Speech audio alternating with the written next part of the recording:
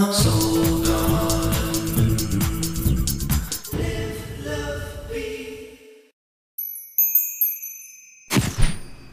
there, Sagittarius, and welcome to Friday. Well, for the philosophers of the zodiac, today you are mastering the mental. We talked about yesterday making decisions about the way you think and the way you communicate, and today Mars is ruling the day, giving a big gust of masculine aggressive wind behind wherever it is you stand. So if you haven't been standing too, uh, if you've been standing too closely to the edge, you could fall off. I hope you've done your homework, Sagittarius, because the winds are definitely picking up. In fact, in the next 36 hours, it is manifestation time, all right? Visualization, light casting, prayer, wishing, it doesn't matter what you call it. Tomorrow the sun and moon conjunct, lining up, and with that with the soul and the emotional life both lining in order like that, it is the most powerful day for us to say to the universe, I want this to happen. Particularly in your case with your thinking processes and your communication processes.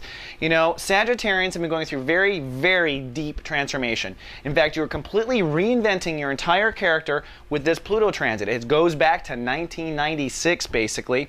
You're about to wrap it up in the next two years, and part of your thinking process is obviously in the way because our thoughts are basically our reality in the future. And if you are not in control of your inner dialogue and control of the way you speak about yourself to others or the way you speak to others about them, these are all ma- making your life happen. So getting in control, mastering the mental is incredibly important for you to move forward with all of your wishes and dreams. And in the next 24 hours, you have a big booster shot from the universe to say, hey, you want to implement this? Go ahead, I'm going to support you, says the universe, and that's a great thing. Now, just realize it doesn't mean it's going to happen instantly. And also, a lot of this deals with I'm going to not talk to myself this way, I'm not going to doubt this, that kind of thing. There are these different mental rules. It'll take a while to take an effect, but wishing now will guarantee later. And on Monday, we're going to start to talk about chapter one, Sun in Pisces, where now you take all this mental process and you now go even deeper with it and start rewriting some of your foundation and rethinking some of your childhood.